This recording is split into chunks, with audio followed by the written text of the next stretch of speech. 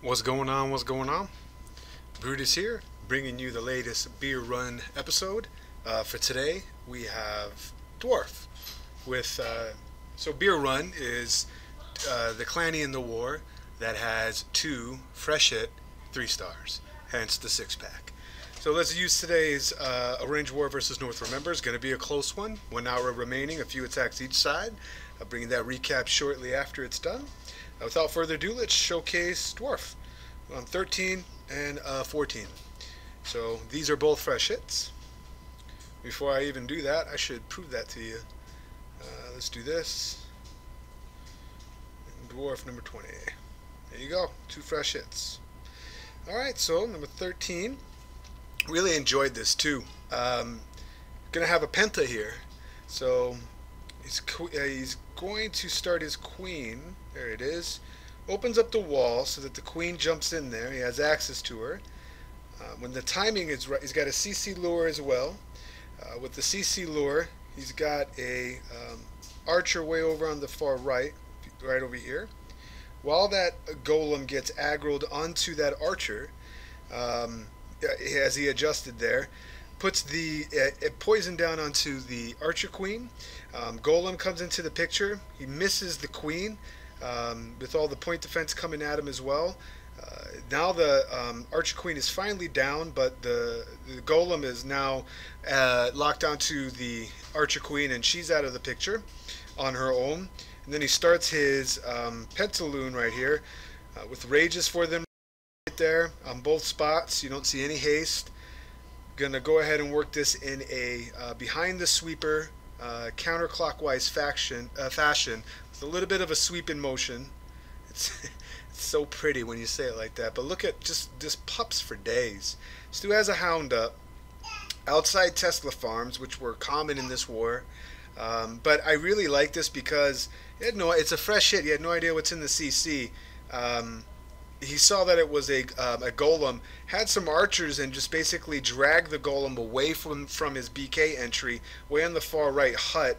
Uh, so that he had just a window of an opportunity to send in his BK to get that queen, um, but he missed her. Uh, he had to use both royals there, eventually gets her, and that's all he got. And he had a Pentaloon remaining uh, counterclockwise uh, behind the sweepers with um, 480s versus 5 hounds. So just nothing but cleanup here. We go to times 2. Just was a really nice, nice, nice raid. Um, Alright, so there's one of the two. There's the Aomi composition. Coming back out. And going down just one. Looking at this army composition, I was just impressed. He's got giants up in this bad boy. We got my little Kalani in there, just uh, screaming in the background.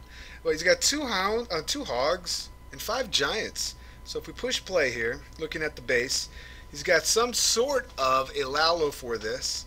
Um, because he's got those two hounds and 20 plus loons.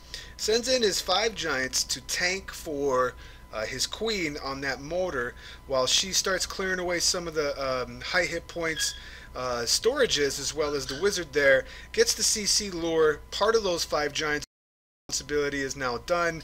Queen's gonna come over uh, poison is down to um, uh, for the CC queen steps up and he's aiming for not only this air defense but the queen as well and he misses it. So he shoots on the uh, shoots gets caught on this um, caught on this high hit point storage, gets the uh, the air defense, which was a good um, substitute consolation prize. But he really wanted to get the queen as well. She just doesn't step up in there, uses the ability. Now he's got to deal with the queen at the end. Sweepers are still kind of both directions. Sends in the hound from this direction. Um, he double. I usually you see a double stack on the first one, but because he has a max hound on that first air defense, he doesn't really need to double stack it because of the added HPS that it comes with it. Um, with the right side, uh, air defense going down. Um, now he's going to push forward with the rage with the the hounds dragging across. There's no more air defenses. Uh, just really enjoyed this. Um, have the uh, other other loons from the top end portion fighting the sweeper, but because he had the rage uh, up in that section, they could fight through it as well as take down a lot of the um, splash damage on the to the trash as well as the defenses on the way moving inward. And at the very end here, he's got a queen that is locked onto a hound um, that sniping the loons, but the pups get the queen, and I believe they call that a, um, a some slang out there is called a queen pop. Basically, you do a Lalo and you leave the queen for the end, and uh, two, you know you, you wanna you want enough time. It's it's kind of luck. Uh, I don't want to say it's luck in a way, but it's fortunate that the um, the pups when the the Hound bust swarm upon uh, the Archer Queen. The only thing that's that's scary about that is that if there's trash buildings um, around there. Um, or defenses are that could snipe those pups as they get busted. You know, it may not work, but in this one was perfect. Uh, queen was working on a loon. Um, all the all the all the pups converged upon the queen, um, and she was a beefy 30 queen if I wasn't mistaken. Um, just really nice, nice raid that didn't go exactly to plan because he missed the queen on the opening entry.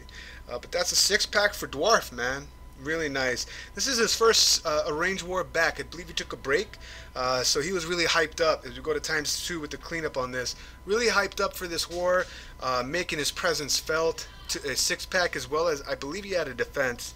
Uh, maybe that might have been um, Tebow or, or Thibault. All right, well that's gonna do it for this beer run series. Nice war, Dwahrve, and uh, we'll leave you guys with the parting shot, shot um, with the 84 89 and, another attack going on. I, I don't know what's going to happen. You're going to have to see the recap. Once again, it's Brutus reminding you, got to be better than the double, and I'll check you next time.